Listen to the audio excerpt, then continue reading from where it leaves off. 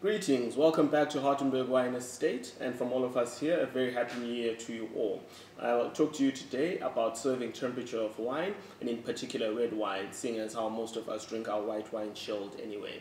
The serving temperature of a wine can either make or break uh, the drinking experience, uh, and therefore has a big influence on your final judgment of a wine. Why is it important to chill a red wine? Uh, well, a red wine that is uh, served above 20 degrees Celsius can seem quite alcoholic, it can lose its fresh fruit flavors, uh, and can be quite flabby on the palate. I'm sure most of us have had an experience with wine that is served uh, too warm, uh, and certainly that uh, doesn't linger too long in the memory indeed. When it comes to the different styles of wine, while 16 degrees Celsius is optimum for most wines, uh, different styles of wine um, are best drunk at different uh, temperatures. Uh, for your light, your lighter, fruitier styles of red wine, uh, we normally recommend between 12 and 14 degrees Celsius, um, just in the case of the doorkeeper, Grenache, Shiraz, and Mourvedre. Um, the cooler temperature enhances the refreshment factor of this particular wine, and that's highly recommended indeed. When it comes to the more medium-bodied styles of wine. Uh, I'll give an example of our 2016 vintage of the Merlot. Now this has got a bit more structure to it and certainly the tannins are not too aggressive but certainly they're a bit more prominent than in the GSM. We recommend between 14 and 16 degrees Celsius uh, and that is certainly optimum for this wine.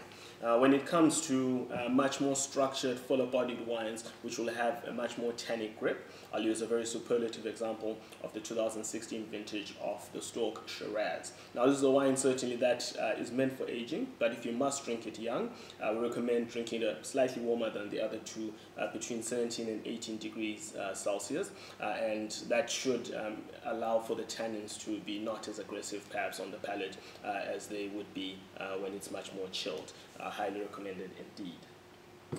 How do we get red wine to its optimum temperature? Uh, well, apart from the use of a wine cellar or indeed a wine fridge, um, keeping the wine for about 30 minutes uh, in the refrigerator um, should bring it down to the optimum temperature as well, just before service. This is good for air-conditioned spaces uh, and for dinner dates, uh, but if you are traveling um, in quite warm weather, there's a range of accessories available uh, to keep the bottle or indeed to keep the wine cool uh, while you are uh, drinking it. Okay. At Hartenberg, we have this handy contraption called a frosty bag. Uh, and uh, you put this in the freezer for a certain time until the liquid inside freezes, and then you can put your bottle of wine uh, in here much smoother this time. Um, and it keeps your wine much cooler for, for much longer. Apart from that, we have the Ngwenya decanter, which is handcrafted glass from Mozambique. Uh, you put your ice in this little hole over here, and it keeps the wine cold uh, while you're consuming it. That has the effect of uh, not diluting your wine as the ice melts. If you are at a restaurant and you're having some wine, a bottle of wine, uh, you can insist on the waiter bringing you an ice bucket okay? Uh, and this will keep the wine quite cool, um, but of course if it does dip below optimum temperature, it will warm up in the warm environment or indeed in the palm of your hand. And lastly, I'd like to uh, make note of how important the old-fashioned wine glass is.